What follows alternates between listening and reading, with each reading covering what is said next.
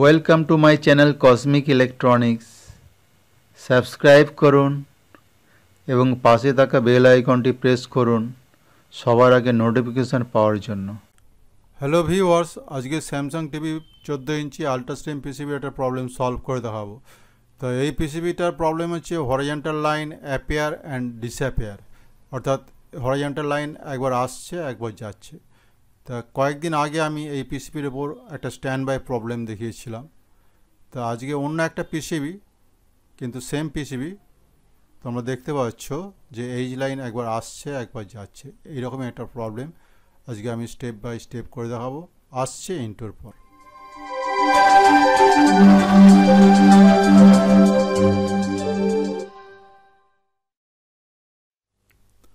তো viewers intro পর ফিরে এলাম। তা প্রথমেই হচ্ছে কি আমাদের প্রথম থেকেই ভোল্টেজগুলো মেজার করে দেখতে হবে। কোনো জায়গায় কোনো ভোল্টেজের অসঙ্গতি আছে কি না। তা সেটের পাওয়ার অন করেছি। তা স্টেপ বাই স্টেপ ভোল্টেজগুলো মেজার করে দেখাচ্ছি। এটা হচ্ছে EST supply voltage hundred twenty one point five hundred thirty two hundred thirty eight অর্থাৎ ভোল্টেজটা স্টেবল হচ্ছে না। হ্যাঁ নট স্টে ভোল্টেজ এক জায়গায় থাকছে না, ভোল্টেজটা আপ ডাউন হচ্ছে। এবং পাশের স্ক্রিনে তোমরা দেখতে পাচ্ছ এইচ লাইন একবার আসছে, একবার চলে যাচ্ছে। Appear and disappear H line on the screen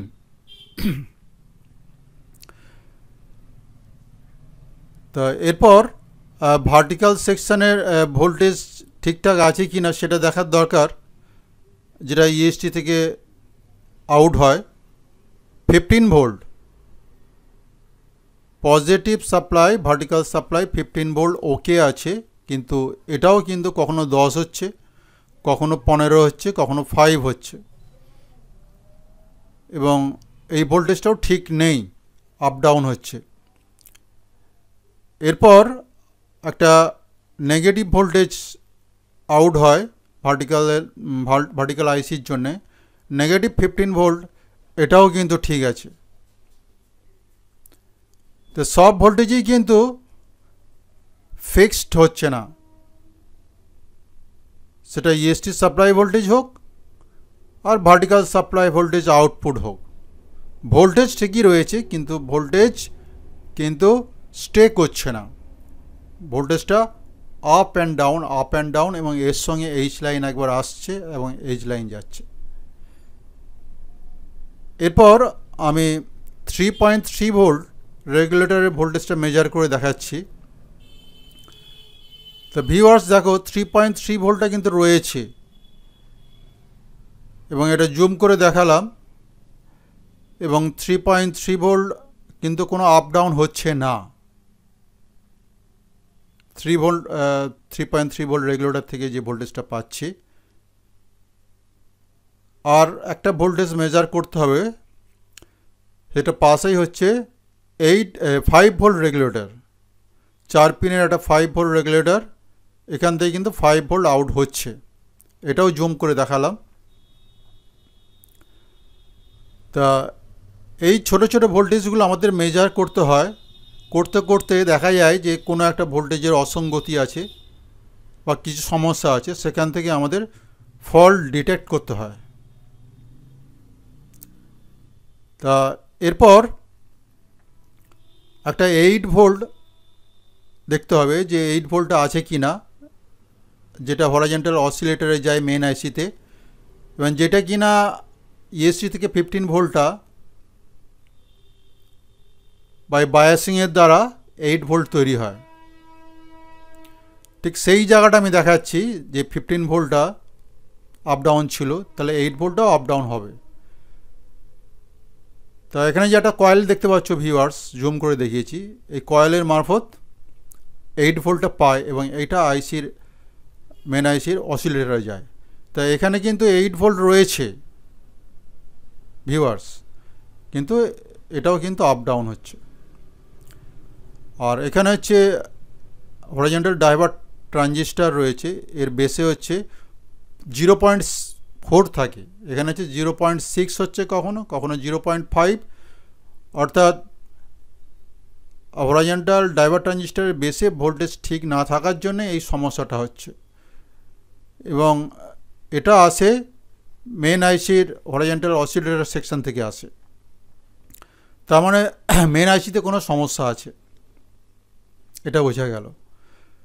এরপর ভার্টিক্যাল ড্রাইভ এবং ভার্টিক্যাল আউটপুট বা vertical drive feedbacks pin number seventeen এবং পিন নাম্বার এইটিন এটা কিন্তু অসঙ্গতি আছে ইনকারেক্ট ভোল্টেজ ঠিকঠাক নেই, এখানে জিরো পয়েন্ট সিক্স থাকে। কিন্তু সেই ভোল্টেজটা নেই এখানে। তার মানে ভার্টিক্যাল অসিলেটারের কোনো সমস্যা আছে। এবং ভার্টিক্যাল অসিলেটরটা সম্পূর্ণ হচ্ছে এই এস এম এসএমডি আইসি বা চিপ আইসি বা মেন আইসির ভেতরে রয়েছে ইন্টারনালি এবং এর অসিলেটারকে কাজ করাতে গেলে এর পাশে আর একটা পিন আছে মেন আইসির fifteen number pin pin number fifteen এখানে একটা ভোল্টেজ থাকে ভার্টিক্যাল অসিলেটারকে কাজ করাতে গেলে। তা এখানে কিন্তু কোনো ভোল্টেজ নেই। মিসিং মেন আইসির fifteen number pin voltage missing. এবং এখানে একটা কন্ডেন্সার আছে এই পিনে গ্রাউন্ড আর একটা ক্যাপাসিটার গ্রাউন্ড আছে। তা এই পিনে ভোল্টেজ না থাকার কারণটা আমাদের বের করতে হবে। সেটির পাওয়ার অফ করে দিয়েছি। পনেরো নম্বর পিনে ওহমস আমি চেক করব। তো পনেরো নম্বর ও পিনে ওহমস চেক করছি সিক্সটি নাইন ওহমস তা এখানে এত কম ওহমস কেন? মোটামুটি হান্ড্রেড ওহমসের নিচে গেলেই তখন আমাদের সেই পিনের যে বায়াসিং থাকে, অর্থাৎ পিএফ থাকতে পারে ক্যাপাসিটার থাকতে পারে জেনার থাকতে পারে, সেগুলো আমাদের চেক করা দরকার আছে। ওহমস কম হলেই, হান্ড্রেড ওহমসের নিচে হলেই আমাদের একটা ডাউট এসে যায়, সন্দেহ এসে, তখন এটা চেক করতে হবে। তা এখানে হচ্ছে একটা মাইক্রো ক্যাপাসিটার থাকে। Position number C two one three এবং ভ্যালু হচ্ছে hundred KPF micro capacitor zoom করে দেখিয়ে দিয়েছি তোমাদের বোঝার সুবিধের জন্য। পিন নাম্বার ফিফটিন তা এই ক্যাপাসিটারটা ওপেন করে নেব আমি। মাইক্রো ক্যাপাসিটার অর্থাৎ সাধারণ যে ক্যাপাসিটার তার থেকে অনেক ছোট, অর্থাৎ রেজিস্ট্যান্সের মতো দেখতে এই ক্যাপাসিটারগুলো হয় রেজিস্টারের মতো দেখতে। তা এটাকে ওপেন করে নিয়েছি। এবং এটাকে আরও ভালোভাবে দেখার জন্য আমরা পিসিবির টপ ভিউতে যাব। তোমাদেরকে আমি পিসিবির টপ ভিউতে নিয়ে এলাম। এবার জুম করে দেখায় ঠিক কোন জায়গায় এই ক্যাপাসিটারটা রয়েছে।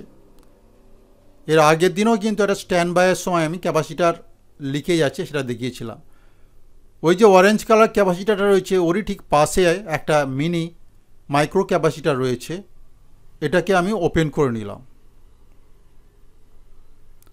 পিসিবিতে যখন লাগানো ছিল, তখন সিক্সটি নাইন ওমস দেখাচ্ছিল। তা পিসিবি, এটা জুম করে দেখিয়েছি, তোমরা দেখতে পাচ্ছ। ক্যাপাসিটারটা পজিশান নাম্বারটাও দিয়ে দিয়েছি ভ্যালুও দিয়ে দিয়েছি।